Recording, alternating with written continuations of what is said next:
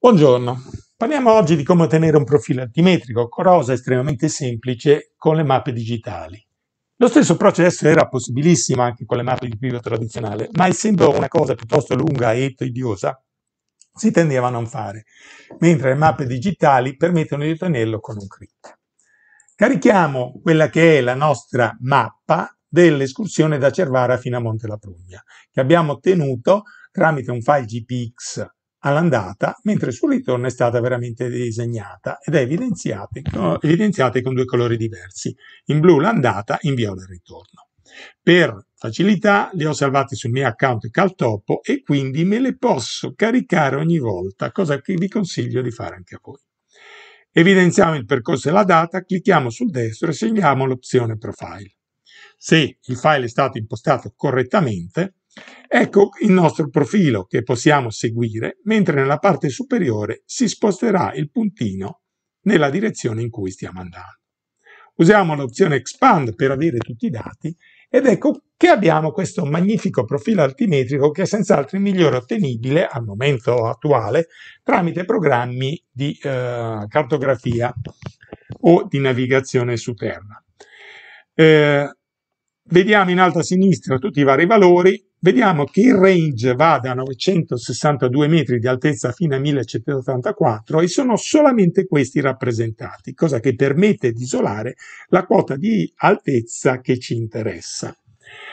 Qui partiamo addirittura da un'altezza circa 1080 metri per raggiungere un punto più alto e successivamente la nostra meta sarà ad un'altezza inferiore alla partenza.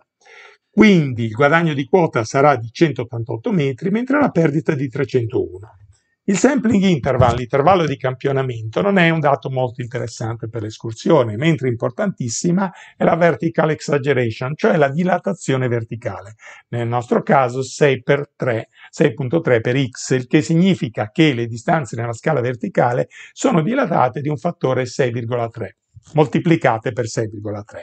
Questo perché altrimenti utilizzando la stessa scala delle lunghezze non si apprezzerebbe molto bene quello che è il valore verticale del, del cambiamento verticale.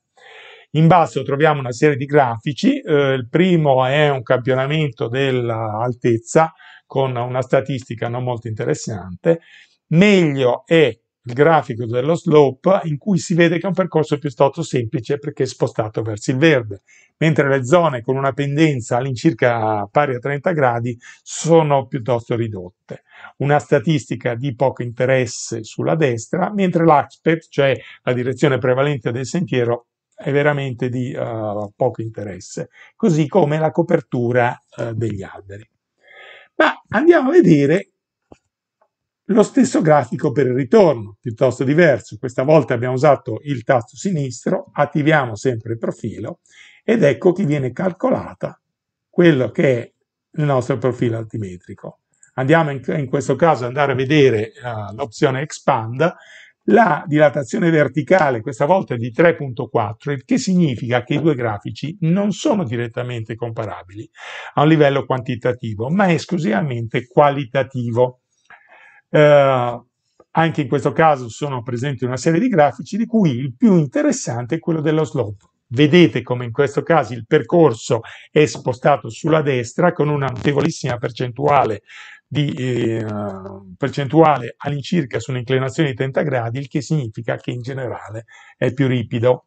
È possibile ottenere il PDF tramite questa opzione in alto a destra del nostro profilo di elevazione, cosa che io ho già fatto e aprendo i file con un qualsiasi programma di visualizzazione PDF è possibile confrontarli tenendo presente che le due scale nel senso verticale sono diverse, quindi non possono essere direttamente uh, paragonati. Vi consiglio di utilizzare questa opzione perché uh, semplice da ottenere e soprattutto importante per valutare la difficoltà di un percorso e ulteriori informazioni sul profilo altimetrico sono riportate nel mio libro Never Lost Mai Perdersi, i cui riferimenti sono in descrizione.